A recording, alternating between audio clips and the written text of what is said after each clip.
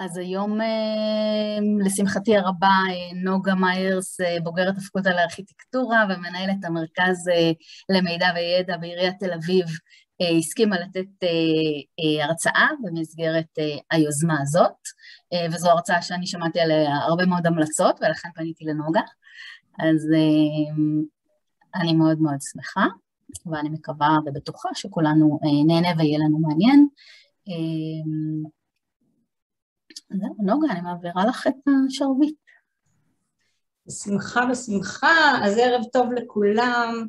Uh, אני אשמח שמי שיכול ויש לו מצלמה שיפתח, שככה נדבר לאנשים, uh, אז זה באמת בשמחה, ואני uh, אציג את עצמי, אז אני נוגה מיירס, אני בוגרת המסלול לתכנון ערים ואזורים בפקולטה לארכיטקטורה, אה, אני בעשור הראשון של אה, החלק המקצועי שלי, אני באמת עסקתי בתכנון אסטרטגי ביישובים. אה, והתפקיד האחרון שעשיתי היה, הייתי המתכננת האסטרטגית של אריאל. ושם בעצם נחשפתי לפרויקט שנקרא עיר חכמה באריאל והבנתי שזה יהודי בחיים ואני בעצם עוברת מעולם של תכנון אסטרטגי ותוכניות אב ותוכניות מתאר לעולם של תכנון יישומי מבוסס כלים טכנולוגיים. ובעצם מאותה שנה, שזה היה לפני הרבה הרבה שנים, התחלתי לעסוק בללוות רשויות בטרנספורמציה דיגיטלית. היום יש לזה שם, היום יודעים שקוראים לזה טרנספורמציה דיגיטלית. כשאני התחלתי, רק ידעתי שאני מתחילה לדבר, ללוות רשויות, על איך להפוך בעצם את הניהול שלנו ברשות, את התכנון שלנו ברשות, לתכנון יישומי מבוסס כלים טכנולוגיים. אה, וכך בעצם התחלתי דרכי והיום אה, אני מנהלת את המרכז למידע וידע בעיריית תל אביב-יפו אה, ורק עוד הקדמה אחת ככה אני רוצה לומר ולפרגן, כי לא יצא לי ככה לפרגן למרצים שלי לפחות במסלול של תכנון ערים ואזורים שלא חשוב במה אנחנו עוסקים היום, בכל אחד. מהתחומים שבהם אנחנו עוסקים גם אם לא בעולמות התכנון, אני תמיד תמיד תמיד משתמשת ביסודות בבסיס שלמדתי באולפנים אה, שעשיתי במסגרת המסלול לתכנון ערים על איך, אה, איך לכתוב חזון, איך להגדיר חזון, איך לבחון מצב קיים, להבין בעיות ואתגרים, איך אנחנו מגדירים עץ מטרות ויעדים, אה, אחרי כן איך אנחנו עוסקים, תכנון, יישום וכולי, אבל כל זה אני אדגים לכם היום, נפתח את המצגת שלנו ואנחנו נתחיל לרוץ. אה, מכיוון שכמו שאמרתי לכם אני עוסקת בתכנון יישומי אז הכלים שאנחנו תמיד מציגים דברים הם מאוד יישומיים ואני מדגימה כל דבר או כל תיאוריה מבוסס על, אה, על פרויקטים קיימים, לא, לא אמירות בגדול, לא לדבר באוויר, אלא רוצה לספר לכם על הסיפור.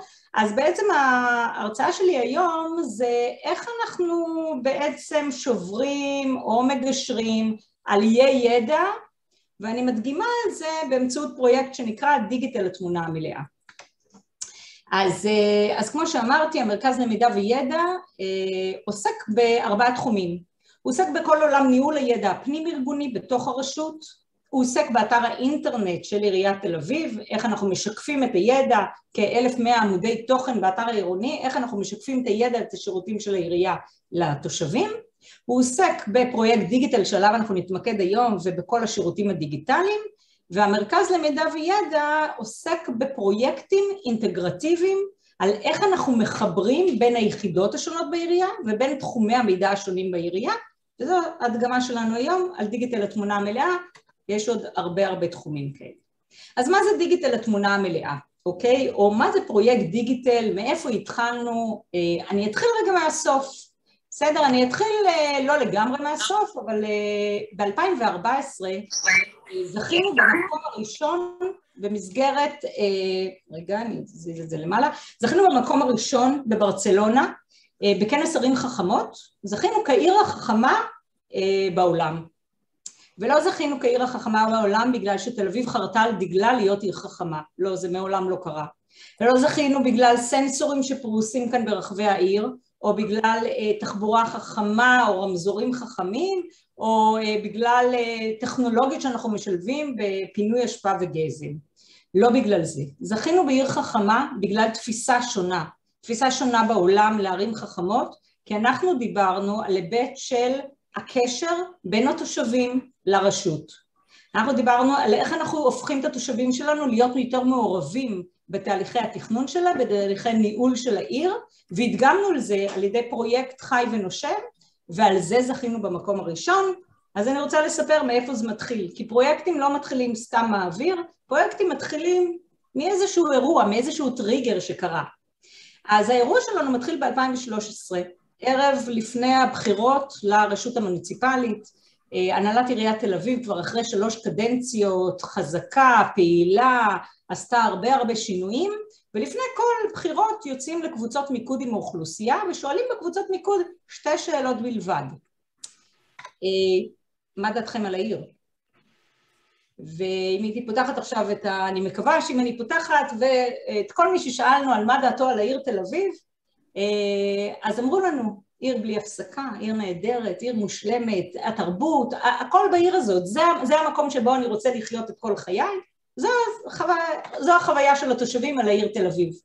שאלה שנייה שנשאלה היא, מה דעתכם על העירייה? וכאן התשובה לא הייתה כל כך חיובית, כאן התשובה הייתה בירוקרטית, אה, מיושנת, מה זה הדבר הזה? ויושבת הנהלת העירייה אחרי שלוש קדנציות ואומרת, מה? איך, איך זה לא ברור? איך התושבים לא מבינים שכל מה שקורה בעיר הזאת מנוהל על ידי גופים שונים בעירייה? איך, איך הם לא מבינים את החיבור הזה? וכאן במקרה של כאב, אה, שכאב מאוד להנהלת העירייה, אה, הגיע זוהר שרון שהיה מנהל המרכז אה, והציע בשקף אחד הצעה לרשות ואמר אם אנחנו נצליח להעביר את המסר הזה לתושבים שהעירייה מלווה אותם לאורך כל מחזור החיים. כי אנחנו בעירייה אחראים על טיפות חלב, בתל אביב טיפות החלב של העירייה ואחרי כן בגני הילדים ובבתי הספר, ואחרי כן בתנועות הנוער, ואחרי כן יש לנו לסטודנטים עם הנחות לסטודנטים, ואחרי כן שהם אה, אה, נכנסים לשוק העבודה, אז כל עולם שוק העבודה, ומרכזי קשישים, אה, כל השטח, כל, לאורך כל החיים, עד אפילו חברה קדישא, שגם היא של עיריית תל אביב.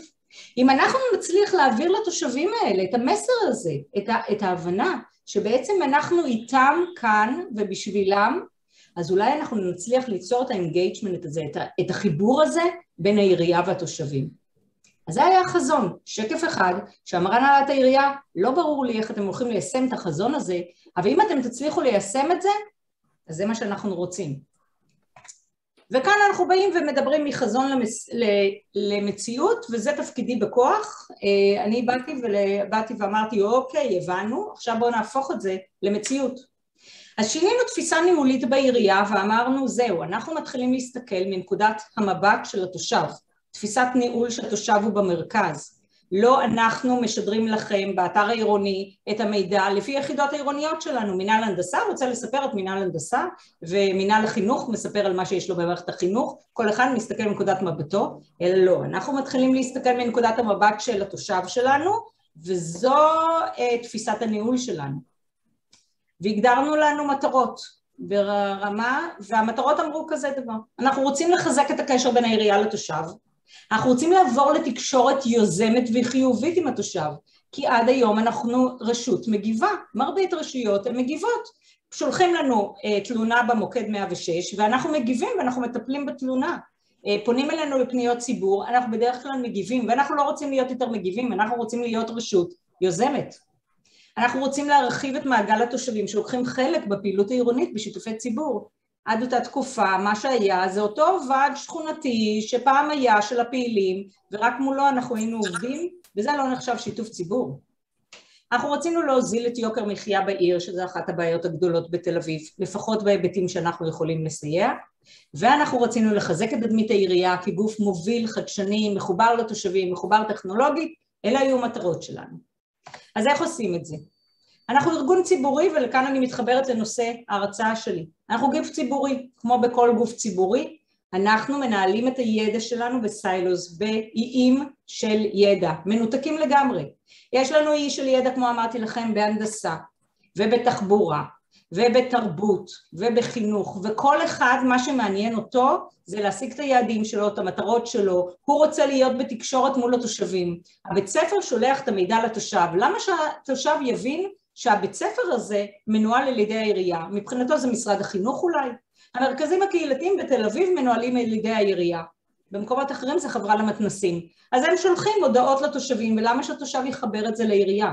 הסינמטק, הבימה, הקאמרי, ועוד ועוד ועוד. זאת אומרת, כל אחד שולח מידע. אנחנו בעצם בנינו ארגון שבנוי מהרבה הרבה הרבה איים של ידע, שירותים מנותקים לגמרי. והשאלה שנשאלה, איך אנחנו שוברים? אפשר לשבור את הסיילוס האלה?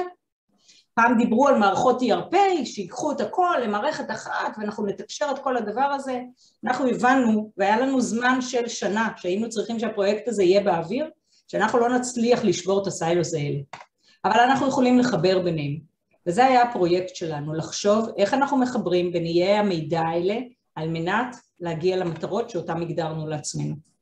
ופנינו כאן לשני ערוצים, אנחנו לא יוצאים לעבודה מול התושבים לפני שאנחנו עושים בדק בית, עושים אה, שיעורי בית ואומרים אוקיי בוא נבין מה אנחנו עושים. והבנו שיש לנו הרבה מאוד מאגרי מידע. אז אנחנו בנינו פורום של מובילי ידע שהם נמצאים בכל יחידה עירונית, בכל טיפת חלב, בכל מרכז קהילתי, בכל מרכז קשישים, בכל יחידה עירונית, יש לנו מוביל ידע. והקמנו פורום מאוד מאוד איכותי שמקבל הרבה מאוד הוקרה והערכה מהנהלת העירייה. ואמרנו, אתם הפורום הכי חשוב כאן בארגון. אתם תזרימו לנו את כל הידע של היחידות שלכם על מידע שדחו, שדרוש לתושבים. הם מזרימים את כל המידע למקום אחד, הצוות שלי במרכז למידע וידע עורכים את המידע הזה ומכינים אותו לטובת התושבים על מנת להפיץ אותו לתושבים. אז זה החלק הראשון של איך באנו מבחינת המידע ועשינו את המהלך הזה. זה היה אחד הדברים שהיו הכי, שבאים אלינו באמת מכל העולם כדי ללמוד איך מקימים כזה פורום ואיך גורמים לאנשים, כל האנשים האלה עושים את זה בנוסף על תפקידם כמובן. אין לי 300 מובילי ידע תחתיי, יש לי צוות של 12 אנשים. אנחנו בעצם מיננו רשת שלמה של עובדים שנמצאים בכל רחבי העיר ומזרימים מידע. אם עכשיו יש אה, מרכז, אה, מרכז קהילתי שעכשיו הקימו בו או פתחו בו חוג חדש, עכשיו אנחנו לקראת החוגים, אז אנחנו נפרסם כאן את החוג החדש. ואם אה, בגינה הציבורית שמו מתקנים חדשים של ספורט, אז מי שאחראי על הגינה הציבורית יעדכן אותנו שאלה מתקני הספורט. או בטיפת חלב הם עושים איזושהי הרצאה של הורים לתינוקות, אז הם יפרסמו את זה, וכל המידע מגיע למקום אחד. אז זה ערוץ אחד. הערוץ השני שאנחנו צריכים לפעול זה מול התושבים. אנחנו באים לתושבים ואומרים, אוקיי, אנחנו רוצים שתירשמו לדיגיטל.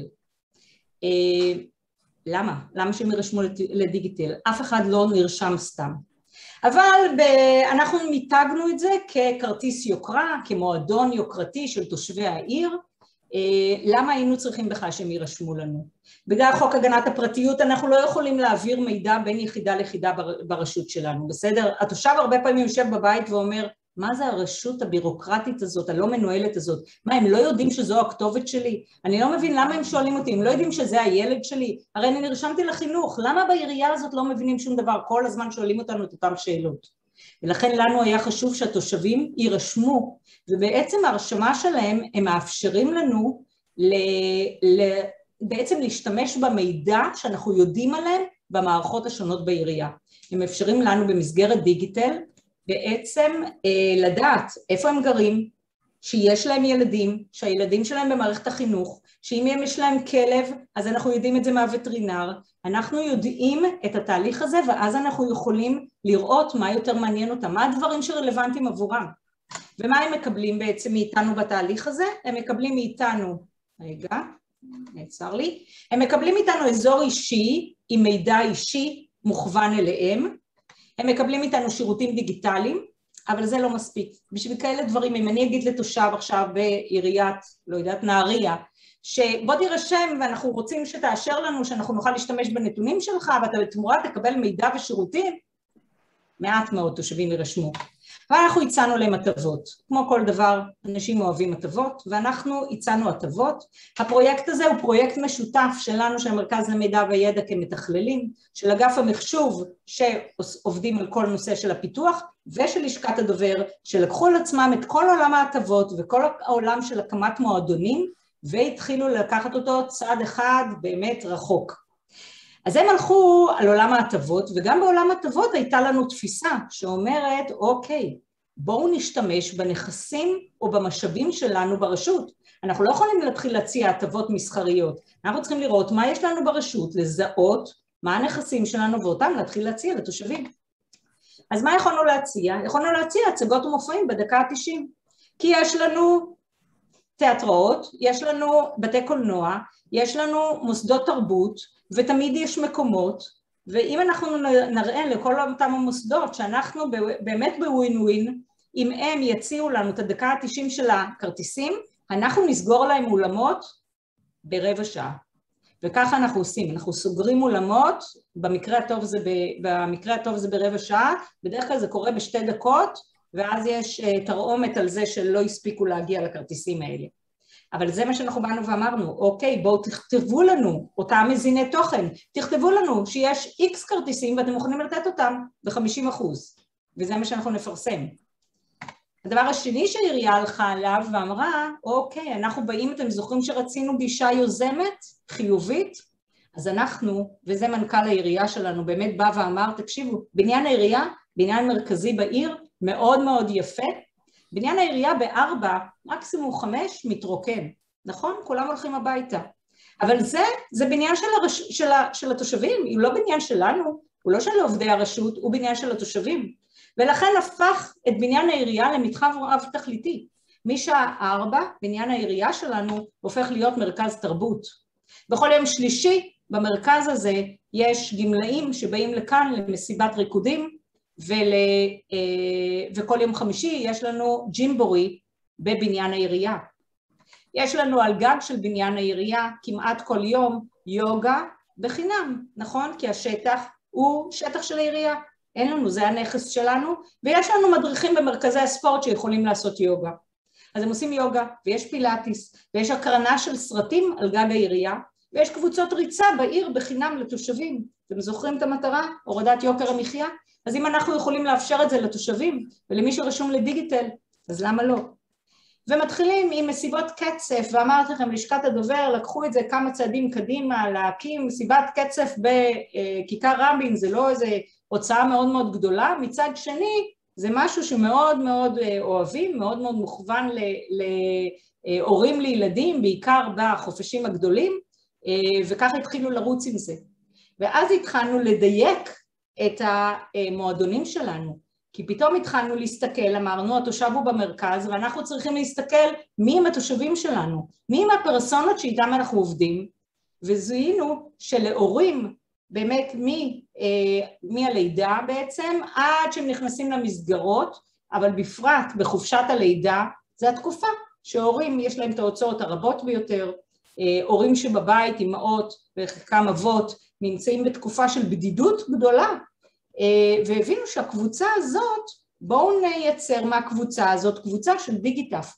והתחלנו לייצר מועדונים במועדון דיגיטל וליצור פעילויות להורים בחופשת הלידה, להורים מלידה עד שלוש וזה אחד המועדונים הכי מצליחים בתל אביב היום, אה, זו דיגיטף עם הורים, עם פעילויות, כמה שיותר במרחב הציבורי, כמה שיותר בשיתוף התושבים עם מה הם רוצים, קבוצות הליכה של אה, בתקופה האלה, במוזיאון, סיורים משותפים, יצירת קהילות, בעצם יצרנו קהילות של התושבים שבאו ואמרו מה הם רוצים, איך הם היו רוצים שהחיים שלהם בתל אביב ייראו וככה נוצרו הקהילות האלה.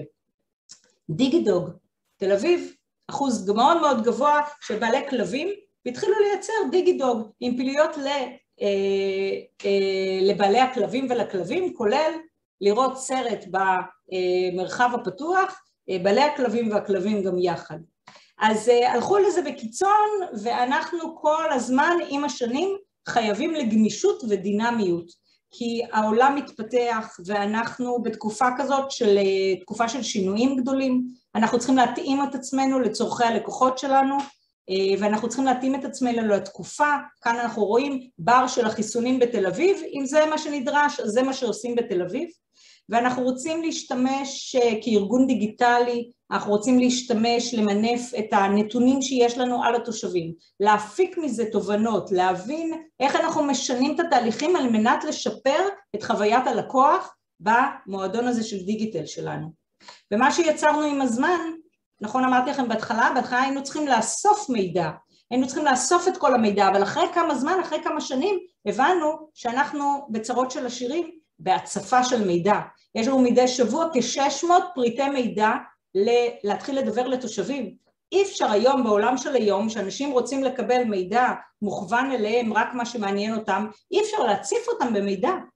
ולכן התחלנו לפתח מערכת שתבין מה באמת, מי כל אחת מהפרסונות הזאת, מה מעניין אותה, בעצם בעת הרישום אנחנו שואלים אותם מה תחומי העניין שמעניינים אתכם, אנחנו שולחים להם דיבורים ואנחנו רואים על מה הם לוחצים, על מה הם לא לוחצים ואנחנו מתחילים, המערכת מתחילה לזהות מה באמת התושב מעניין אותו. יכול להיות שהוא כתב שהוא אוהב הצגות, אבל בפועל הוא הורה לילדים קטנים והפעם האחרונה שהוא היה הצגה, וואי וואי וואי, זה היה מזמן.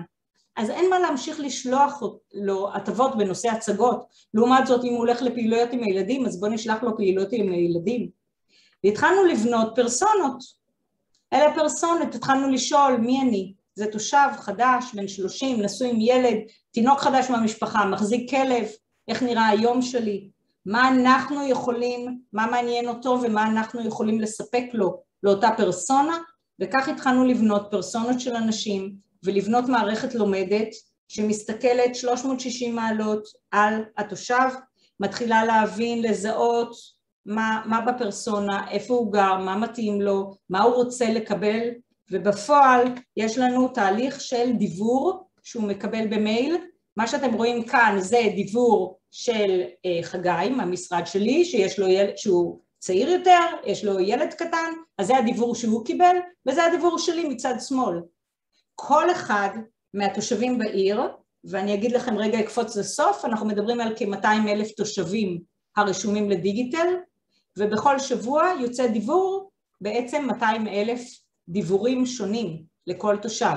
כל תושב מקבל את הדיבור המותאם אליו, עד עשר ידיעות שמתאימות לו, לפי הרחוב שלו, וזה יכול להיות אם כאן יש לי על מעברי חצייה ברחוב נגבה, כי זה הרחוב שלי, אז מספרים לי על מעבר חצייה, ועל נושא של התחדשות עירונית, כי זה אני בסביבה של התחדשות עירונית, ואני אישה, אז אני אקבל את אה, נושא של סרטן השד, ולעומת זאת כאן אנחנו יכולים לראות שהם מקבלים אה, על פסטיבל בשרונה, כי הוא גר ליד, או על איזו הופעה, אה, מידע אחר לגמרי.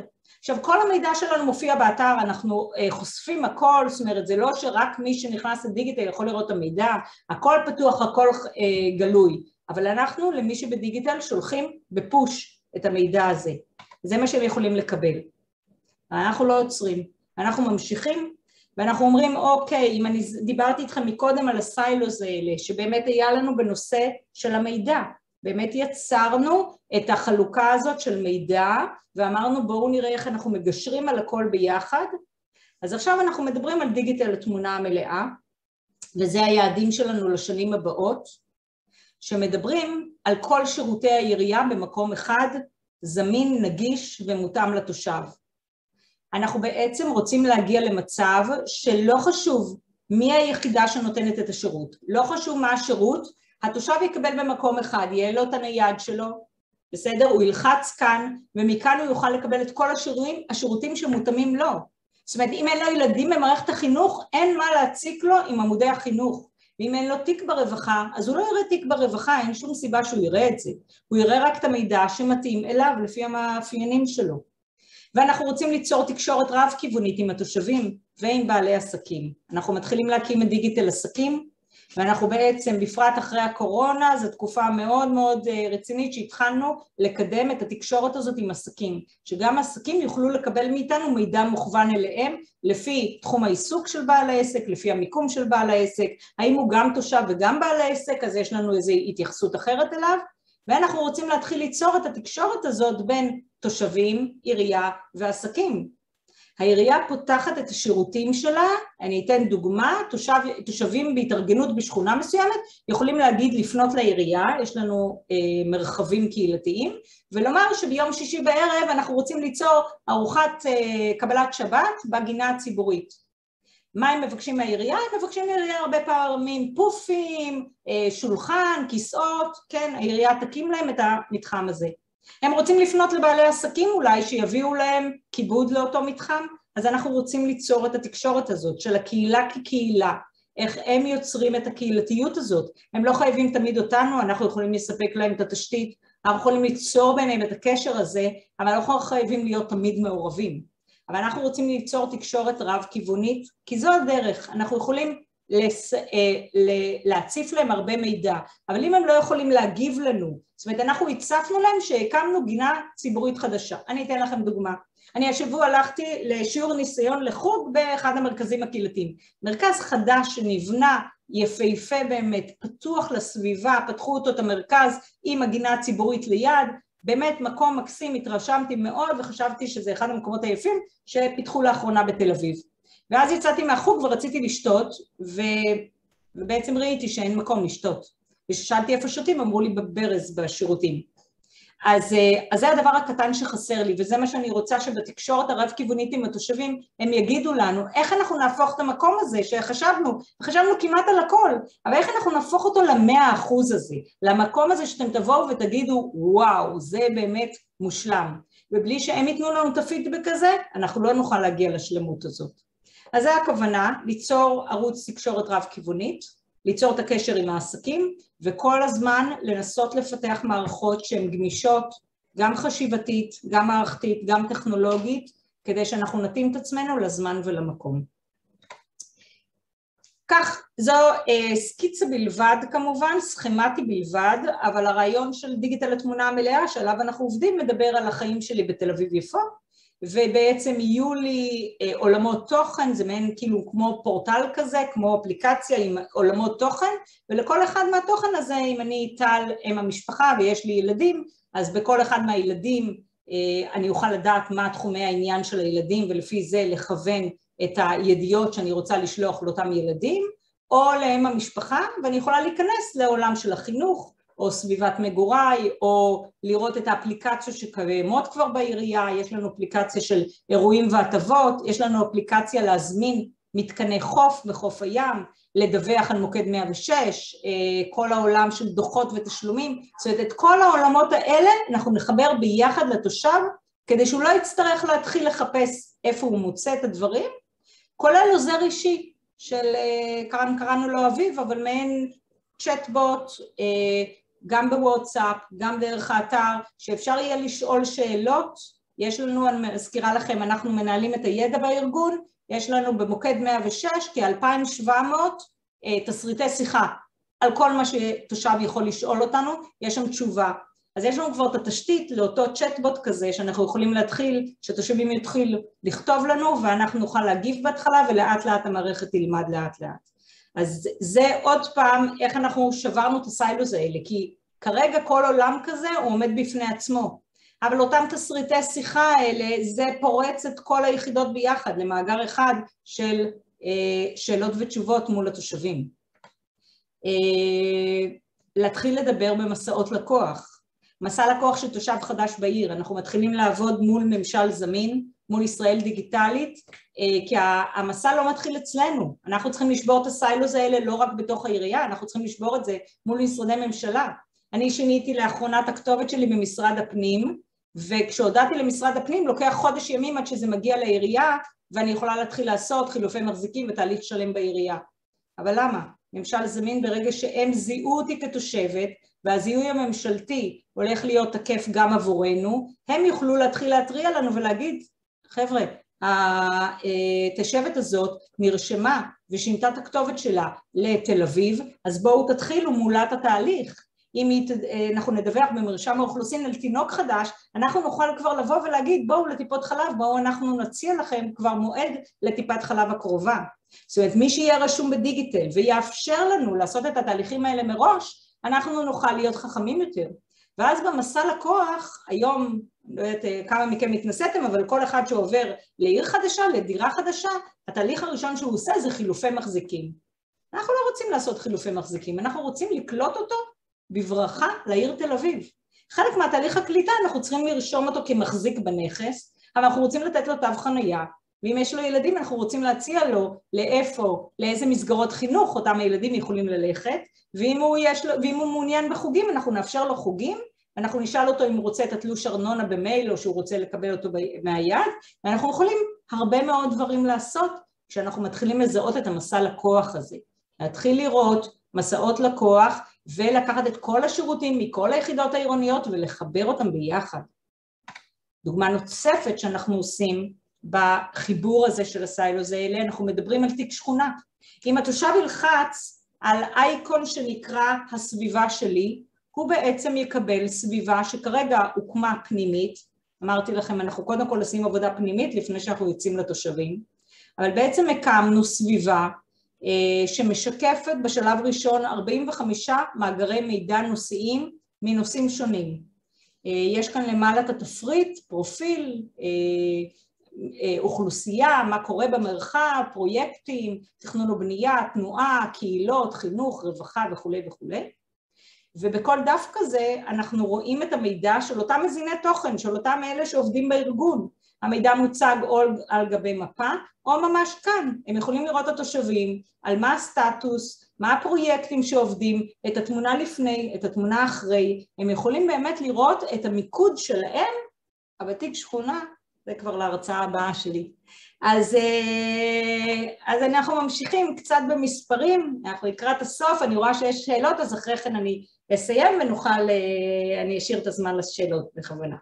אז אנחנו עם 205 אלף תושבים רשומים ופעילים, כ-165 אלף אה, אישרו לנו לדבר איתם בתקשורת של דואר אלקטרוני או אס.אם.אס, אה, מתוכם כ-142 אלף מעורבים מה זה מעורבים? שהם אה, באמת מגיבים, הם פותחים את המיילים שלנו, הם לוחצים על כישורים, זאת אומרת זה אחוזים מאוד מאוד גבוהים של מעורבות בפעילות, זאת אומרת שאנחנו שולחים דיוור ממוקד לתושבים אחרי שזיהינו אותם, אנחנו כרגע עומדים על אחוזי פתיחה של בין 45, בממוצע 45 אחוז מהאנשים שאנחנו שולחים להם דיוור פותחים את הדיוור ואנחנו עומדים בממוצע שבסביבות הקרוב ל-30 אחוז שעושים עוד איזושהי פעולה מהדיוור, זאת אומרת הם נרשמים למשהו, הם פותחים את ההודעה, הם מתעניינים במשהו וזה חלק מהמעורבות הזאת רק כדי סדרי גודל, אתם יודעים שאנחנו מקבלים במיילים, אה, לא יודעת, מכל אחד מהמועדונים שאתם רשומים אליהם, אנחנו מדברים על, אה, אנחנו לא מגיעים לאחד אחוז של, של מעורבות. אה, כאן אנחנו מדברים באחוזים מאוד מאוד מאוד גבוהים של מעורבות. אנחנו מבצעים מדי שנה עם המרכז למחקר כלכלי חברתי שלנו סקר מול תושבים על דיגיטל, כמו כל דבר שעושים בעירייה אנחנו מוודאים מול התושבים. אה, זה אחד השותפים בסקר, הוא היפה ביותר כמובן, יש פחות טובים, אבל הוא, אה, אנחנו אהבנו כי שאלנו אותם עד כמה הם משתמשים, לאלה שכתבו שהם במועדון דיגיטל כמובן, ואלה שאמרו שהם מעורבים איתנו, בתהליך שאלנו אותם כמה אתם באמת מרגישים שאתם משתמשים בדיגיטל, בסדר? כשמשתמשים זה או שהם צוברים הטבה, או שהם משתמשים אפילו במידע שאנחנו אומרים להם, זאת אומרת אם אנחנו פרסמנו עליהם על מידע על השכונה הם באמת מרגישים שזה ממש שימוש שלהם. ואנחנו רואים כמובן מגמת עלייה אה, מאוד מאוד גבוהה. אה, אם אני אגיד לכם גילאים אז הגילאים של 60 פלוס הם הקבוצה החזקה שלנו הקבוצה החזקה שלנו בדיגיטל עם אחוזי פתיחה הכי גבוהים, עם המעקב הכי גבוה, זה אזרחים ותיקים שפנויים לזה, שרק מחכים כל יום שאנחנו נשלח להם את ההטבות של הדקה ה-90 והם הכי פעילים בקבוצה הזאת הקבוצה של הצעירים היא הקבוצה החלשה שלנו יותר, אה, למרות שכאן יש אחוזי אה, שימוש מאוד גבוהים, אבל זה מאלה שבאמת משתמשים. אבל אני אומרת בכנות, הבני נוער, הצעירים יותר, עד גילאי 30, הם פחות משתמשים, הם פחות צריכים אותנו בשביל לספק להם את הכלים האלה. אה, קצת על מה, מה היה ככה, אני אסכם את זה ביותר ב... שוב, עד עכשיו סיפרתי את הסיפור ועכשיו קצת יותר בממדים של תרבות דיגיטלית בארגון, אז, אה, אז זה מה שבעצם קורה לנו בדיגיטל. אה, התחלנו משינוי תפיסה לתפיסה של התושב או הלקוח במרכז. כל הגישה הניהולית מדברת על הדבר הזה. כל ההכוונה שלנו היא הכוונה החוצה. זאת אומרת, כשאנחנו עושים תהליכי ניהול ידע, הם אך ורק אם הם משרתים את התושבים שלנו. אנחנו לא עושים תהליכי ניהול ידע רק כדי לשפר את העבודה שלנו במשרד, לא. אנחנו תמיד מוכוונים תושב, לקוח. אנחנו מסתכלים בראייה אינטגרטיבית, זהו. אין דבר כזה שכל יחידה באה ואומרת, אני רוצה לפתח את השירותים שלי, זה מה שחשוב לי. כי זה מה שהיה עד עכשיו, זאת אומרת עד עכשיו מרכז קהילתי הוא מרכז רווח, הוא רוצה למכור את החוגים שלו, אז הוא אה, מפרסם ישירות לתושבים. אנחנו באנו ואמרנו, לא, אי אפשר להציף את התושבים כל אחד רק בגלל האינטרס שלו. אנחנו חייבים להסתכל ראייה אינטגרטיבית, חיבור בין כל היחידות, חיבור בין מאגרי המידע, ולהתחיל להתייחס לתושבים כגוף הוליסטי אחד. אנחנו מדברים על אנשים ושותפויות. אה, פורום מובילי הידע שלנו זה החלק הכי חזק שלנו בארגון, אה, היצירה הזאת של המעורבות, של הנכונות אה, להיות כחלק בנוסף על תפקידם לעשות את הדבר הזה והיצירה הזאת באמת של החיבור, שהם הבינו מה יוצא להם מזה. כאילו כל אחד שמעורב, שנכנס לזה, באמת הבין, אנחנו קוראים לזה בניהול ידע, אמילי. אני, מה יוצא לי? אנחנו צריכים באמת להגיע לכל מצב שמישהו מהיחידה יבין מה יוצא לו מזה. ומה יוצא לו מזה זה שמצד אחד כאן בעירייה הוא חשוף, המנכ"ל העירייה אומר שמה שלא מפורסם בדיגיטל לא קיים, אוקיי? והמנכ"ל העירייה מקבל מאיתנו דוחות כל חודש על מה פורסם, מי פרסם הכי הרבה, איזה תכנים איכותיים עלו לאתר, ואם הוא יגיע למרכז קהילתי שפורסם כל החודש שתי ידיעות, הוא יגיד, מה קורה פה, אתם לא עובדים? ואם הם יגידו, כן, אנחנו עובדים, אבל אנחנו מפרסמים בכלים אחרים, אז אין דבר כזה. אין דבר כזה, כי מה שמפרסמים בדיגיטל זה גם מה שהמוקד יכול לשקף לתושבים. אם אנשים מתקשרים אלינו למוקד 106, שפתוח 724, כדי לשמוע מה קורה בעיר, כדי לשאול שאלות מידע, הם מקבלים את המידע הזה רק מדיגיטל. זאת אומרת, אם מישהו לא פרסם בדיגיטל, גם התושבים לא ידעו על זה. בסדר? אז זה חלק מהיצירה של מועדון כזה בלהבין את החשיבות שלה, של לשתף בידע. אנחנו מדברים על שקיפות, אה, כל המידע שלנו מפורסם באתר העירוני, הוא מפורסם לכולם, אה, אין מידע, הטבה שאנחנו מצניעים אותה או מסתירים אותה, פרוטוקולים, היתרי בנייה, בסדר? זאת אומרת אנחנו מפרסמים את הכל ואנחנו שולחים לפוש למי שרלוונטי מאליו. אם מישהו ברחוב יש יותר בנייה של התחדשות עירונית מעבר לכביש, הוא רוצה לדעת את זה, הוא יקבל את זה בפוש, כל שאר התושבים, אם מעניין אותם, הם ייכנסו לאתר ויוכלו לראות מה הסטטוס של תיק בניין או של היתר בניין מסוים. אנחנו מדברים על יצירתיות וחדשנות, שזה חלק מהדברים המאוד מאוד משמעותיים בתרבות דיגיטלית ובתפיסה שלנו של דיגיטל. אחד הדברים, ההצלחות הכי גדולות שהיו בדיגיטל היה ביום העצמאות הראשון אני חושבת שיצאנו לדיגיטל והתושבים, אה, הורים לילדים ביום העצמאות, אה, אני לא רואה אתכם אז אני לא יכולה לשאול, אם הייתי באולם הייתי שואלת ואם הייתי מקבלת את התשובה, הדבר הכי חשוב להורים לילדים זה מתי יש זיקוקים ואיפה, זה מה שמעניין הורים לילדים ביום העצמאות, בואו נגמור עם הדבר הזה. אה, ביום העצמאות כל אחד מהתושבים קיבל בפוש אליו ב-SMS איפה יש את הזיקוקים הכי קרוב אליו ובאיזה שעה בדיוק זה יקרה, בסדר? זו גישה יוזמת ולא היא גישה מגיבה. אנחנו לא צריכים להתקשר למוקד ולשאול, תגידו איפה רואים את הזיקוקים, יראו... לא, אנחנו יוזמים. אנחנו מודיעים להם שהיום בערב יהיו עבודות לילה ליד הבית שלהם. אנחנו מודיעים להם שנתנו היתר לאיזה מסעדה היום לפתוח עד יותר מאוחר בגלל אה, כל מיני דברים. אז אנחנו משתדלים כמה שיותר להיות יצירתיים, חדשניים ויוזמים. אנחנו צריכים להיות זריזים וגמישים, ובזה אנחנו קצת פחות טובים. אה, אנחנו גוף גדול, מסועף, אונייה מאוד מאוד גדולה, קשה קשה קשה, אנחנו משתדלים לאמץ טכנולוגיות שיאפשרו לנו את הזריזות והגמישות, זה לא תמיד הולך, אה, אבל אנחנו בדרך להשתפר. אנחנו מבינים שאנחנו צריכים להתאים את עצמנו לדיגיטלי תחילה, ותמיד שואלים אותי, אז מה קורה עם אותם אנשים שהם לא דיגיטליים? אז כמו שאמרתי, כל השירותים שלנו הם שירותים גם פרונטליים, הם שירותים גם באינטרנט, הם במרכזי קשישים מקבלים אה, ברושורים עדיין, הכל בסדר. אבל אנחנו מבינים כבר שהעולם הולך לכיוון זה, ולכן אנחנו בדיגיטלי תחילה. אם אנחנו רואים שהאזרחים הוותיקים בעיקר הם אלה הכי חזקים שלנו במועדון דיגיטל, אז אין סיבה שנמשיך לעבוד בתפיסות ישנות. אז אנחנו באמת מתאימים כמה שיותר לדיגיטלי ונותנים את השירות. אה, אם אני אספר כאן כקוריוז, אז אה, מרכז השירות בעיריית תל אביב, המרכז שירות של העירייה שאליו הגיעו, אנשים היו מגיעים כדי לשלם ארנונה, לשאול שאלות, ואוכלוסייה אה, מבוגרת יותר הייתה באה לשם כדי לבלות, כדי להעביר את הזמן של הבוקר, אז אנחנו נמצא להם חלופות, אוקיי? אז יהיו מרכזי קשישים ליד שיציעו במסגרת מועדון דיגיטל סיורים בעיר, או הצגות, או מוזיאונים, ואם תבואו היום לעיריית תל אביב אתם תראו שמרכז השירות של עיריית תל אביב ריק לגמרי. הקורונה גם עזרה לנו, אבל גם לפני הקורונה.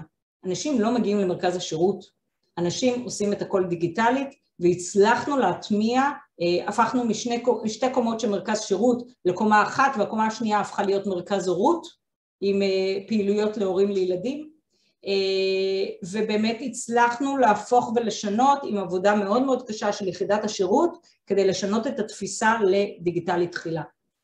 והדבר האחרון שאני מציגה זה הנושא של נתונים כנכס. אנחנו מבינים שיש לנו הרבה מאוד מאוד מאוד ידע, נתונים, מידע, והם היום הנכס הכי חשוב שלנו, וכאן אני קוראת לכל אחד ואחת מכם, אנחנו נשמח לשיתופי פעולה, לרעיונות, אה, לשימוש בדאטה שאנחנו אה, מפרסמים, משתפים, אם אפשר לשפר קבלת החלטות, יוזמות חדשות לשיפור של שירות מול התושבים, או לעבודות של סטודנטים שאנחנו שמחים לתת כאן פרקטיקום אצלנו ממש כשדה ניסויים שיכולים לעבוד עם המידע אה, ולנסות את הדברים האלה. אז אה, לסיום אני אציג סרטון קצר שעשינו פנימית, אבל הוסיפו לי אה, ממש בשבוע האחרון את המלל כדי שתוכלו גם לקרוא אם לא תשמעו מספיק טוב. אז זה סרטון קצר על איך שיווקנו את דיגיטל התמונה המלאה, אה, ממש השם. בשכונת שפירא, ברחוב קיבוץ גלויות, עומד לו בניין בין ארבע קומות. ומי גר בבניין? בקומה הראשונה, גברת כהן, תושבת ותיקה.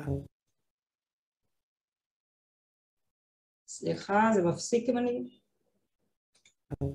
אירועים בעיר והרצאות היא צורכת, אך באין נגישות לא יודעת לאן ללכת. בקומה השנייה, משפחת הודיה. כל היום האם מאיה מתרוצצת ועושה רישומים כי ילדיה לומדים בחוגים כה רבים. בקומה השלישית, מר קרמשנית. עסק קטן של קונדיטוריה בבעלותו, אך בימים קשים הוא לא מצליח למכור את מרכולתו. ובקומה הרביעית גרות קטי וסנאית. סוחרות חדשות שהגיעו לעיר, שחיפשו בקרבת האקדמית יפו דירה להשכיר. התכנסו בעירייה בשולחנות עגולים כיצד לייעל את חיי התושבים. עבור גברת כהן הכנו דשבורד מותאם, עם כיתוב גדול, ברור, פשוט וחכם. זכויות, פעילויות או גורם מקצועי לעזרה מיוחדת. כל זאת ועוד בלחיצה אחת בודדת. מתקשה? העוזר האישי שלך יופיע בלחיצת כפתור ובקול, יילווה אותך בכל שלב ויענה לך על הכל. חשוב לנו לתמוך בתושבים הוותיקים, ולצורך קניית מזון וסיוע, גויסו מתנדבים. משפחת הודיה, הסירו דאגה מלבכם. באזור המזוהה תוכלו לקבל מידע עבור ילדיכם. שם תראו את כל הרישומים של עדן, עדי וניצן הקטנה, ולחדש את הרישום לחוגים ללא תורים או המתנה. תוכלו גם לראות את מערך החינוך, השיעורים והציונים, ולקבל הודעות על שינויי הסעה ועדכונים מהמורים. אך גם בשבילך, מר קרמשניט, ולעסקים אנו דואגים. תשלומים ניתן לבצע באזור המזוהה לעסקים, רישום למכרזים עירוניים, הכל במקום אחד. ובתקופות הקשות, אתה לא לבד.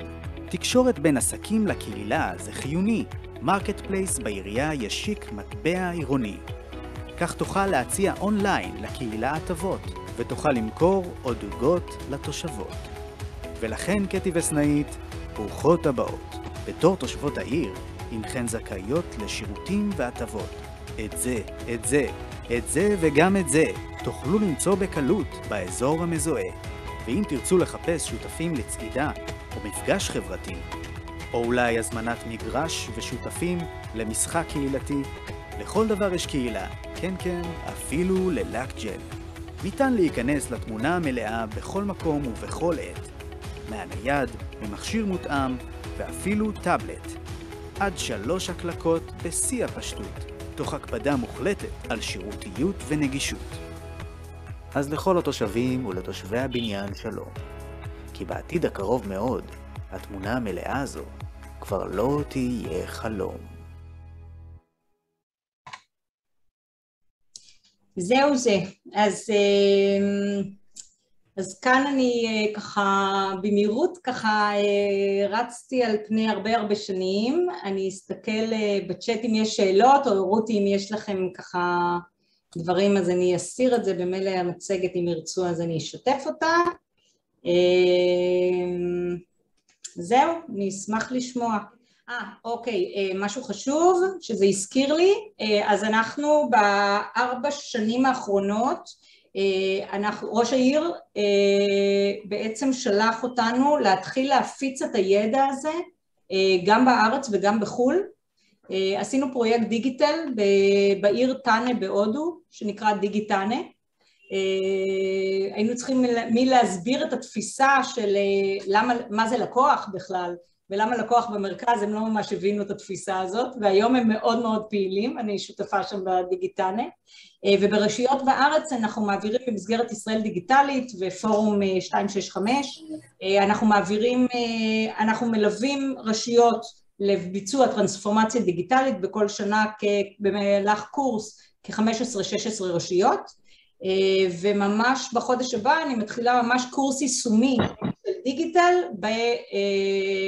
ב-12 רשויות מחוז תל אביב ביוזמה של משרד הפנים שפנו אלינו ואנחנו מתחילים בקורס יישומי ממש, כלומר אנחנו במהלך החודשים האלה הם יבנו את התהליך של דיגיתל אצלם, נצא למכרזים ביחד, אה, נצא, נכתוב ביחד מה המטרות שלנו, נגדיר איזה מידע אנחנו אוספים, מה ההטבות שיכולות לתת וממש נכין kit כדי שיוכלו לעשות את זה ברשויות אחרות.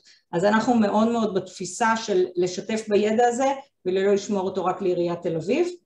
אה, זו הייתה שאלה אחת שראיתי. אה,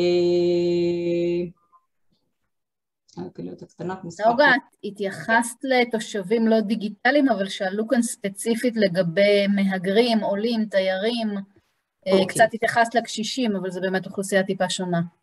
אוקיי, okay. אז א', על אזרחים, על עובדים זרים, אה, אנחנו אה, מודעים לזה שיש לנו קושי, היום אנחנו לא יכולים לקלוט אותם כי אין להם תעודות זהות וה, אה, והמספר של הדרכון משתנה, בעצם אין לנו נתון אחד חד חד ערכי, הממשלה לא מצליחה, לא הצליחה עוד לפצח את זה, כי פנינו לממשל זמין לנסות לזהות אותם דרכם וזה עדיין לא פוצח. אה, אנחנו הבטחנו שבשנה הבאה אנחנו לפחות הורים לילדים הלומדים במערכת החינוך בעיר, אנחנו ננסה לזהות אותם דרך מערכת החינוך וכך נאפשר להם, אה, נאפשר להם באמת אה, להירשם גם כן לדיגיטל ולקבל את ההטבות המגיעות להם.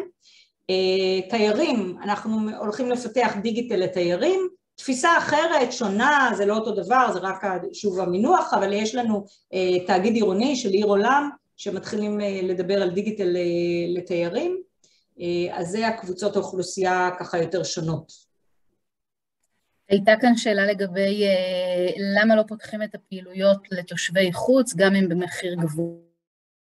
אז הפעילויות בעיר פתוחות גם לתושבי חוץ, אני עד היום הייתי תושבת חוץ ואני צורכת חוגים בתל אביב והמחיר הוא טיפה יותר גבוה, עדיין מסובסד, אבל טיפה יותר גבוה, אז זה פתוח, הם יכולים גם לראות את הפעילויות שלנו באפליקציה של דיגיטל פתוחה לכל מי שרוצה, יכול להוריד את האפליקציה כדי לקבל הטבות של תושבים, רק תושב, שבעצם תושבות זה להיות רשום במרשם האוכלוסין כתושב תל אביב. אז רק תושב תל אביב יכול לקבל. אה, דרך אגב, יש לנו אה, כל הנושא של נציגויות ושגרירויות וכן, אנחנו כן הצלחנו להפיק להם עבור השגרירויות כרטיסים והם יכולים, אה, יכולים גם לנצל חלק מה... השירותים שלנו, פשוט הרוב כתוב בעברית ולא באנגלית, אז אנחנו קצת בבעיה. אה, שאלה של שלמה, היי שלמה, האם הקמפיין והפעילות להקטנת מספר כלי הרכב בעיר חניות, מסלולים, העדפה לכלי רכב דו-גלגליים, נעשה על בסיס התייעצות עם התושבים, אם כן, מי העדיף את השינוי, הצעירים או המבוגרים?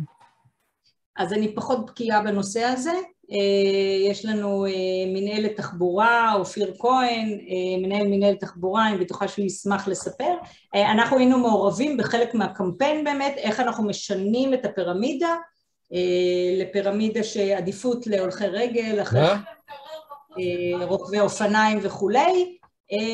סוגיה קשה, אנחנו מודעים לזה, סוגיה קשה, ואנחנו מקווים ש... עם אה, הרכבת הקלה ובעתיד אה, מטרו וכולי יהיה קצת יותר קל, אבל אנחנו יודעים שכרגע סוגיה קשה של תושבי העיר.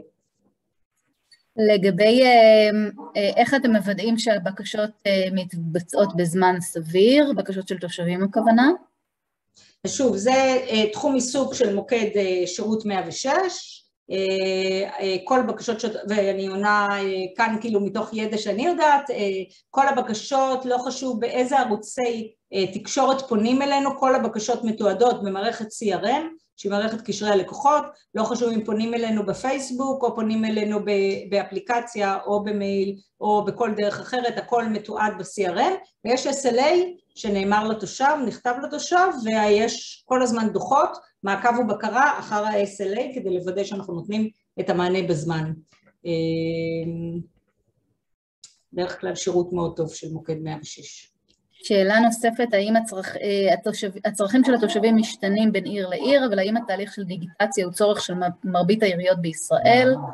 כן, בעצם על זה עניתי, נכון? אה, בגלל זה עניתי, מכיוון שהבנו שבאמת הצרכים הם אותם צרכים, אה, אם פעם חשבו שביישובים הקהילתיים ובקיבוצים רק רוצים את הקהילתיות, אז בתל אביב זה מה שהתושבים מבקשים, התושבים רוצים קיבוץ עירוני. אז, אז אנחנו בעצם מבינים שאנחנו צריכים ללמוד מהרשויות האזוריות מקומיות והם צריכים ללמוד מאיתנו ואנחנו במסגרת, יש פורום שנקרא 265 אה, שיזמו אותו ישראל דיגיטלית, משרד הפנים ואנחנו, שכמעט כל הרשויות, באמת 90 ומשהו אחוז מהרשויות שותפות שם וכל הזמן אה, משתפות במידע וידע בין הרשויות כדי ללמוד אחד מהשני על הפרויקטים, אה, להקל על התהליכים האלה. אז כמובן לגמרי בשיתוף ידע. יש כאן שאלה לגבי שירות זן סיטי, כן, של אייל פדר, אה, שפיתחו כלי שמאפשר אה, לדעת מה, מה מטריד ומעסיק את התושבים. נכון. אמ, ומשתמשים בו, אני מניחה שאייל יודע, ומשתמשים בו ביחידות מסוימות שעוסקות בניתוח של צורכי התושבים. המרכז למחקר כלכלי חברתי עוסק, אה, משתמש בנתונים שלהם, המוקד משתמש בנתונים שלהם, זה נתונים פנים עירוניים. אני הצגתי פרויקט שאנחנו מייחצנים החוצה לתושבים. אה, שואלים כאן מה מהלימודים בטכניון אה, אה, עזר לך בתפקיד. אז זה מה שאמרתי בהתחלת הדרך, שהמתודולוגיה שלמדנו, אנחנו בטכניון, במסלול לתכנון ערים ואזורים, הדגש בלימודים הם באולפנים, אולפנים יישומיים. והתהליך שלמדתי באולפן, איך לייצר בפרק זמן של סמסטר, איך לייצר תוכנית אב לעיר, למטרופולין באר שבע, בסדר? אה, ככה, אני, ככה אצלנו מנהלים אצלי ביחידת הפרויקטים. כל הפרויקטים שלנו הם בין שלושה לשישה חודשים בלבד, הכל פרויקטים דינמיים, וזה מתחיל מאותם יסודות שקיבלתי בטכניון, ובאמת אני מספרת את זה כל פעם, באמת על איך כותבים חזון. לא הרבה אה, אנשים יודעים איך כותבים חזון, איך מחזון אנחנו גוזרים עץ מטרות ויעדים. תמיד ביחידות אומרים לי, נוגה תעבירי את הסדנה הזאת שלך על העץ, אז הסדנה הזאת על העץ לימדה אותי, אה, אני חושבת, אני כבר לא זוכרת מי, או נעמי כרמון או רחל אלתרמן, איך בונים עץ, ומהעץ הזה מגיעים בסוף בסוף למטה למשימות הקטנות, איך אני עושה עכשיו מתוך העץ הזה, איך אני מבין מה האתגרים, מה הבעיות, איך אני מפצח. עכשיו זה כל, כל נושא, כל פרויקט, צריכים להתחיל מזה, אם פרויקט לא מתחיל מהתפיסה הזאת, אה, הוא, הוא ילך לכיוונים לא נכונים. אז זה באמת אה, אומר בכנות שזה מהטכניון. אה, שאלו כאן גם נושא של אה, אבטחת מידע, אה, גם נושא של הצלבת מידע בין גופים, איך מבצעים שיתוף ידע, ואיך שימור ואיסוף מידע משפיע על קבלת החלטות הנוגעות לתכנון עירוני בדגש על תחבורה. אוקיי, okay. אז, אז זה מה שאמרתי, אנחנו, גם אנחנו וגם הממשלה עובדים באותה שיטה, אנחנו לא יכולים להעביר ידע מיחידה ליחידה, אנחנו יכולים אה, בעצם לשתף, להסתכל על הלקוח, הלקוח יכול לראות את החיבור הזה בין מאגרי המידע, בסדר? אנחנו בדיגיטל יכולים לראות את החיבור, אבל אם למשל אה, עשינו הטבה בבריכה והגיעו מלא אנשים ואז אותו מנהל של מרכז קהילתי אומר לי תני לי את הרשימה של האנשים שהגיעו לבריכה אני רוצה להציע להם חוגי שחייה אוקיי? זה דבר שאנחנו לא נעביר לו. אנחנו נגיד לו אם אתה רוצה אתה תוכל להעביר לנו ידיעה כזאת ואנחנו נשלח לאותם אנשים שהיו שם ואישרו לנו לשלוח להם ידיעה במייל, ב-SMS וכולי. אז אנחנו עובדים עם אבטחת מידע מאוד מאוד, גם בעירייה, גוף של אבטחת מידע, גם מול הסייבר הממשלתי שנותנים לנו, איך, נותנים לנו באמת הנחיות, איך לזהות תושבים, איזה מידע אנחנו יכולים להעביר, אז בדברים האלה אנחנו מאוד מאוד מקפידים. והחלק השני היה על, אה, שאלת אותי עוד משהו בחלק השני שדווקא הייתה לי תשובה טובה. כן, איך זה משפיע על קבלת החלטות בנוגע לתכנון אה. עירוני בדגש על תחבורה. אוקיי, אז, אה, אז לא יודעת אם בדגש על תחבורה, אבל מה שהראיתי לכם בשקף אחד שנקרא תיק שכונה והוא פרויקט בפני עצמו שאפשר ללמוד ממנו, זה בעצם פעם ראשונה בעירייה שלקחו ואמרו אוקיי, אנחנו לא מסתכלים על תחום, אנחנו לא מסתכלים על אה, עיר כעיר, אלא אנחנו לוקחים משהו בפוקוס, עשינו ממש תהליך לקחת 45 מאגרי מידע בכולם, לתת שדה אחד שנקרא שדה כתובת, שיהיה אחיד בכולם, ומהשדה כתובת הזה אנחנו יודעים לזהות באיזה שכונה, באיזה מרחב, ואיזה גוף עירוני מטפל בו, ולהתחיל לעשות התמקדות. ועכשיו אנחנו מתחילים על בסיס הנתונים האלה לעשות תכנון מבוסס נתונים. לשבת שולחנות עגולים, פיזיים, לא, לא רק וירטואליים, לא רק להסתכל על נתונים, אלא באמת לשבת שולחנות עגולים ולהתחיל לדבר על השכונה. כפר שלם היא לא כמו אה, רמת אביב ג' ולא כמו, אה, אה, אין מה להשוות, וצריכים להתחיל לדבר מתוך הנתונים האלה. עכשיו הנתונים אומרים 7.1 אחוז אה, צפיפות, אז מה זה אומר לכל אחד? למינהל הנדסה אולי זה אומר, מה זה אומר למישהי ממינהל חינוך? מה, מה אני יודעת על השכונה הזאת? אז בואו נדבר. אז עכשיו אנחנו מתחילים באמת להתחיל לעשות חיזוי ותכנון מבוסס נתונים של כל היחידות, לראות תמונה מלאה סביב שכונה, מאוד מקווה שנצליח עם זה. אה, מה עוד, אה, איך מחברים קבוצות וולונטריות כמו ויצו, נעמת, צופים וכולי?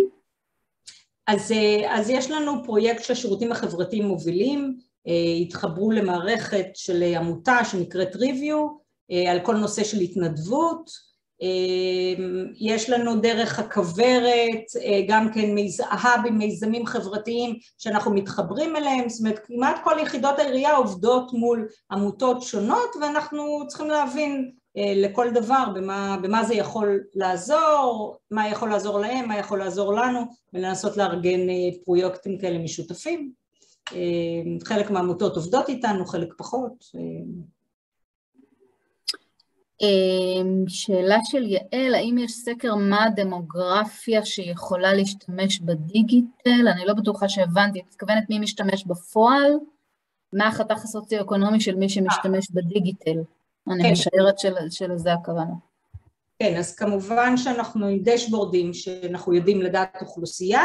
אה, מה שאמרתי, אנחנו משתמשים בדיגיטל בעיקר מגילאי מהורים לילדים קטנים, בסדר? זאת אומרת דיגיטף זה המועדון הכי שווה בעיר, אנחנו כרגע בתהליך של מיתוג הפוך, כי uh, התושבים קצת uh, חשבו שדיגיטף כבר מנהל את העיר, אז הם uh, בפייסבוק של דיגיטף הם כותבים דיגיטפיות, תגידו למנכ"ל שיעשה ככה וככה, זאת אומרת יש כאן ניהול הפוך כבר, אז מהשלב הזה של הורים לילדים, כאן הם מאוד מאוד נכנסים. אה, חבר'ה צעירים אה, פחות, בתקופת צבא, למרות שאנחנו נותנים דיגיטל לחיילים, אה, כן מתחילים לתת הטבות, אבל מסטודנטים אנחנו מתחילים לתת להם הרבה שירותים, ועד ממש גילאים, אמרתי, אזרחים ותיקים הם הכי חזקים אצלנו במועדון.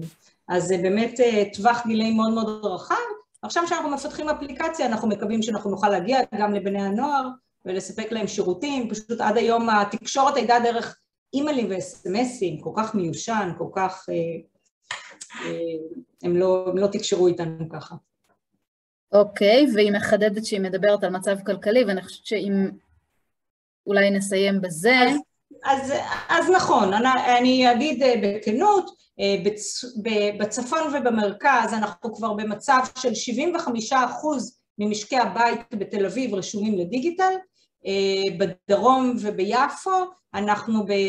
ביפו אנחנו ב-35 אחוז, בדרום ובמזרח אנחנו קרוב ל-50 אחוז, יש לנו הפרשים גדולים בנושא הזה ואנחנו עובדים במטרה לשפר את ה, כל הזמן את האחוזים ואת הרישומים. זה קשור לאמון, לאו דווקא ל... כאילו... לאמון, לשיעורי השתתפות, אנחנו מכירים את הדברים האלה גם, אני חושבת שגם אצלנו אפשר לראות את הדברים האלה. אני רשמתי כאן, הוספתי כאן לינק לערוץ היוטיוב שלנו, אם תירשמו כמנויים, אז ברגע שההרצאה תעלה לאוויר וזה ייקח כמה ימים, תוכלו לצפות גם בהרצאה מוקלטת. אם יש מישהו שלא שאל שאלה או שלא ענינו על השאלה, אז ממש הזדמנות אחרונה לפני שאנחנו מסיימים, ובינתיים אני אגיד לך תודה רבה, היה מרתק, אני קיבלתי כמה הודעות תוך כדי שאנחנו מאזינים, כבר קיבלתי בוואטסאפ משובים מאוד חיוביים. אנחנו גם נשלח לכם משוב ונשמח אם תענו עליו כדי שנוכל ללמוד ממנו ולהשתפר. אז אני חושבת שלא ראיתי שאלות נוספות, אז אנחנו נגיד תודה רבה לנוגה. בשמחה, שמחתי מאוד, באמת מרגש מאוד. מרתק, ולמדנו הרבה, אני מניחה שכולם, ואני באופן אישי גם. תודה רבה, שמחתי לראות אתכם, ואנחנו נתראה באירועים הבאים. ערב טוב לכולם.